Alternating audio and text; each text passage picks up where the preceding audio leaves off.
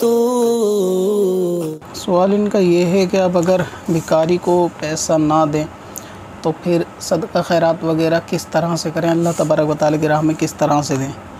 और ये आपने अच्छा काम किया सबसे पहले कि भीख मांगने वालों को भीख देना बंद कर दिया। जैसा कि एक वीडियो, बल्कि दो वीडियो इस बारे में बनाई गई हैं कि भिकारियों को जो पेशेवर भिकारी हैं, उनको भीख देना सवाब का काम नहीं, बल्कि गुनाह का काम है।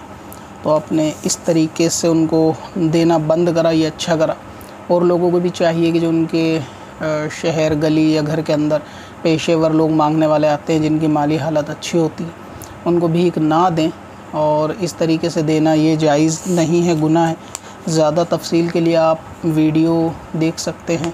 यूट्यूब पे सर्च करके सिकंदर वार से अबाउट भिकारी को भीख देना या सिकंदर वार से अबाउट भीख देना इस तरह से आप सर्च करेंगे नाम के साथ तो वो मिल जाएगी। तो अब क्योंकि मांगने वाले नहीं है तो जुम्मे के दिन या और दिन जो ख़वातीन सदका वगैरह निकालती हैं या अल्लाह ताला की राह में सवाब के लिए निकालती हैं तो वो किसको दें?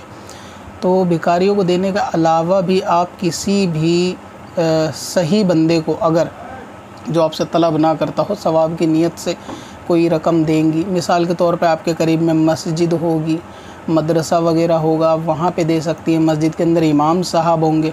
आप बच्चे के हाथ इमाम साहब को भिजवा सकती हैं। और दूसरी बात यह कि आप सदका करने के लिए या सवाब के लिए पैसा ही देना ज़रूरी नहीं होता।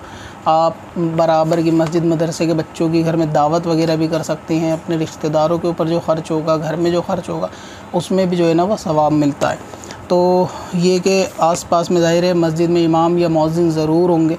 तो इस बहाने आप उनको अगर इस तरीके से मदद करवाएँगे तो उसमें ज़्यादा सवाब है। बल्कि ये कि जो अल्लाह की राह में पैसा दिया जाए, वो जाहिल को देने से बेहतर है कि वो आलिम को दिया जाए, ताकि वो जो उस पैसे से लिबास पहने या खाए और फिर उसके बदले में जो वो इबादत करे या दीन का काम करे तो उसके अंदर भी आपके लिए नफ़ा ज़्यादा होगा। या फिर करीब में कहीं मदरसा हो तो वहाँ पढ़ने वाले बच्चे हों तो उनकी ज़रूरतें होती हैं कपड़े की, किताबों की, खाने की।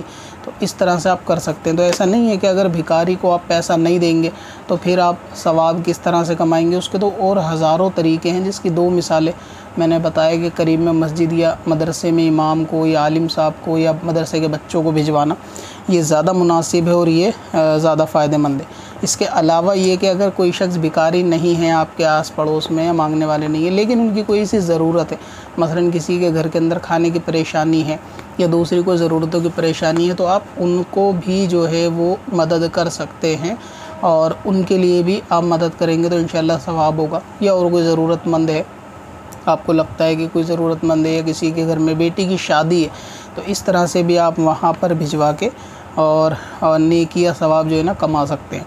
इसके अलावा अगर मान लो ऐसा भी मामला नहीं है तो आप घर के अंदर खाना वगैरह बना के बच्चों को दावत कर सकते हैं।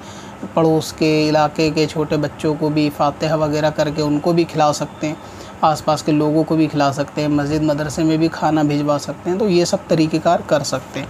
फ़कत इसलिए कि ये इसके अलावा कोई दूसरे तरीके आप सोचते हैं कि नहीं है, इसलिए भिखारी को देना चाहिए तो ये तरीक़ेकार सही नहीं है। बल्कि ये देने से क्या क्या नुकसान है, मैंने उन दो वीडियो के अंदर बताया है, आप इस वीडियो के बाद उनको ज़रूर देखें, ताकि आपको मालूम चले कि भिखारी को भीख देना ये सवाब है। बल्कि तो ज़िम्मेदारी के साथ सबको मना करना चाहिए, अगर कोई घर पे मांगने भी आता है तो बिल्कुल मना कर दे कि आइंदा यहाँ आने की ज़रूरत नहीं है, और उनको देने की भी ज़रूरत नहीं है। वेबसाइट पर एक नया फीचर ऐड किया है, जिसका नाम है लर्न फास्ट जी हाँ लर्न फास्ट जैसा कि नाम से ही ज़ाहिर है कि इस ऑप्शन के ज़रिए आप इल्म दीन फास्ट वे में सीख सकते हैं।